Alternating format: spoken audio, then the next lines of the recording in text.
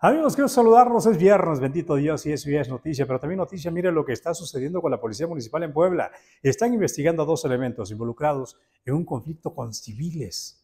Le voy a mostrar las imágenes y le voy a dar los detalles de qué fue lo que ocurrió en este conflicto, en esta trifulca, y por eso la investigación. También, también, mire, vamos a ir a Tepeji de Rodríguez porque hay padres de familia se están manifestando y exigiendo a las autoridades para que destituyan a dos docentes. Dos docentes que los acusan, no lo vas a creer, de bullying. Así es. Supuestamente los docentes, los maestros, les hacen bullying a los estudiantes, a sus alumnos.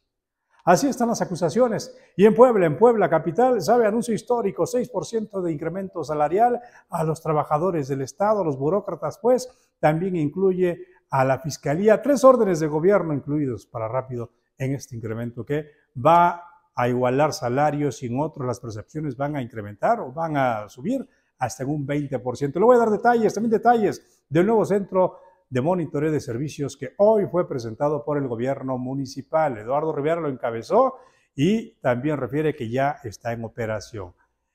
Todo esto y más justo, ya lo sabe, a las 13 por el 13 en Noti 13. Y hoy el presidente también le debo decir, pues dijo que va a acatar el fallo, el fallo del INE, que le dice, no puedes hablar de cuestiones electorales, pero anunció una leyenda al presidente que dice va a poner en su mañanera. Va a ver qué leyenda. Hoy, hoy lo platicamos pues en unos momentos en vivo y ánimo, ánimo que en unos momentos se declara abierto el fin de semana.